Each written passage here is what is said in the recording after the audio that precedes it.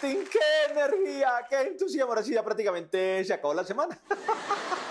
Hoy vamos a hablar de la vida en pareja. Claro que muchas veces cuando uno tiene pareja casi ni tiene vida.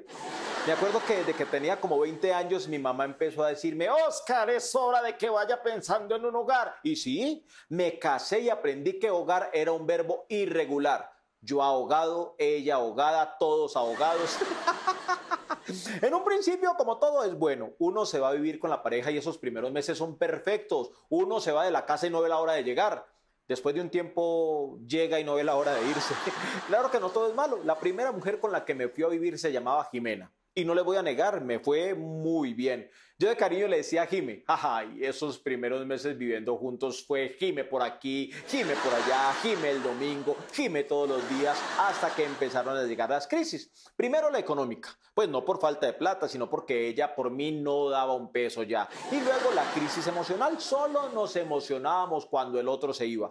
La vida en pareja no es fácil, así uno se quiera mucho. Con decirles que a mí la novia me decía chicle, Sí, pero no por intenso, sino porque ella me pegaba en cualquier parte. Me acuerdo que era una mujer con un temperamento bastante fuerte. Una vez íbamos a comprar un sofá, yo lo quería morado y ella lo quería blanco. Discutimos, peleamos, alegamos. Bueno, luego hablamos y nos pusimos de acuerdo y nos llevamos uno blanco y uno morado. El blanco en el sofá, el morado me lo llevé yo en un ojo. claro que también hay formas de, de, uno tratar de hacer la vida en pareja más llevadera. Existen los famosos psicólogos de pareja. Nosotros conseguimos una psicóloga que nos estaba ayudando a arreglar la relación. Ella nos dijo, cuando discutan me llaman.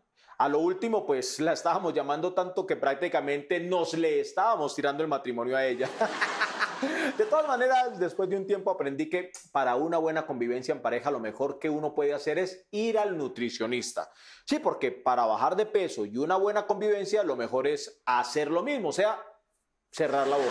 Por eso yo decidí vivir tranquilo, nadie me regaña, nadie me dice nada y soy como soy. Oscar, ¿cuánto tiempo hay que esperar?